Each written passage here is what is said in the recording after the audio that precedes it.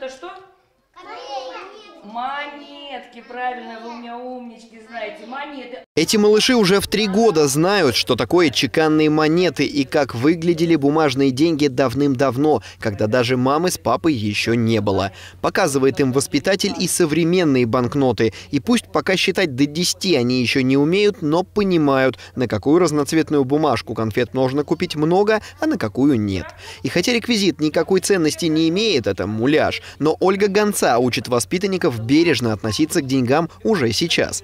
Начальные уроки финансовой грамотности преподает в Щекинском детском саду 6 лет. Так что первые ученики сейчас уже ходят в школу и имеют карманные деньги, которые тратят наверняка с умом. Чтобы быть богатым, нужно быть финансово грамотным. И вот именно эти зернышки финансовой грамотности мне хочется заложить в дошкольном возрасте наших детей, чтобы потом было легче идти по жизни.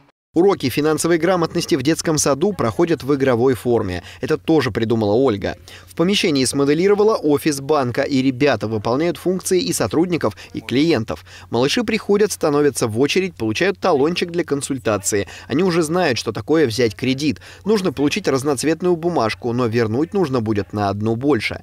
Отдельная очередь выстраивается к картонному банкомату. Там можно получить наличные, просто выдвинув ящик. В помощь особо любознательным калькуляторам калькулятор. Ребята должны понимать, что все услуги оплачиваются. Я решила создать финансовый travel то есть travel по финансовой грамотности. Смысл тот же, но здесь у нас все упирается в то, что мы должны распланировать наш бюджет. Ну вот, например, у нас как э, финансовый travel это поездка на море. Здесь родители с детьми могут распланировать этот финансовый проект для малышей Ольга отправила на региональный этап Всероссийского профессионального конкурса «Воспитатель года России». Жюри оценило креативность, оригинальность идеи и ее актуальность. В итоге первое место. Теперь о Щекинском детском садике узнают на уровне России. Федеральный этап конкурса пройдет в Волгограде в конце сентября. За это время трехлетние мальчишки получат первые навыки, пусть и наивного, но уже предпринимательства, а девчонки, как будущие хозяйки, научатся строить семейный бюджет. Правда, пока он измеряется конфетами и куклами.